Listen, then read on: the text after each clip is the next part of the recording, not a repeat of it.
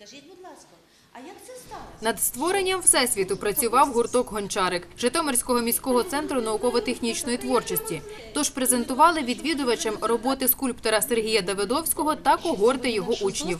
Ці наївні та яскраві звірята вже здобували відзнаки на конкурсах. А під час відкриття виставки юних гончарів відзначили подяками за їхню творчість. За досягнення дітей дякували наставнику та бажали здобути студії гончарства звання зразкового колективу. Це не тільки майстер, це і вчитель. Це і вчитель. Тому що працювати з дітьми до нього відвідують сьогодні студію. Це учні першого класу, і старші. Ви бачили сьогодні. Учні приходять. Вірю, вірю в вас і ваш колектив. Я даже сама не знала, что у него есть талант. Вот благодаря Сергею Сергеевичу мы уже занимаемся второй год. Каждый ребенок в конце концов должен попробовать. Успішний та визнаний скульптор порівняно нещодавно ступив на педагогічну ниву.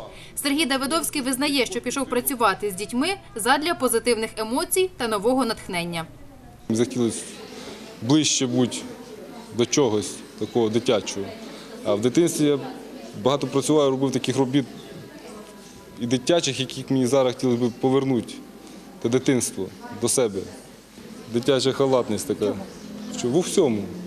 Якщо має бути в носорога два роги, то може зліпити три-чотири. Тобто це не є проблема. Може зліпити отакі от вуші там, і око на лобі. Тобто це теж буде мистецтво.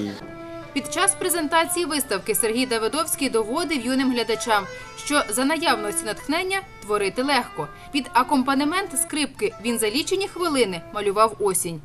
Маючи здобутки і перспективи у роботі з молоддю, скульптор мріє і про інші масштабні проекти, як от скульптури на вулицях Житомира.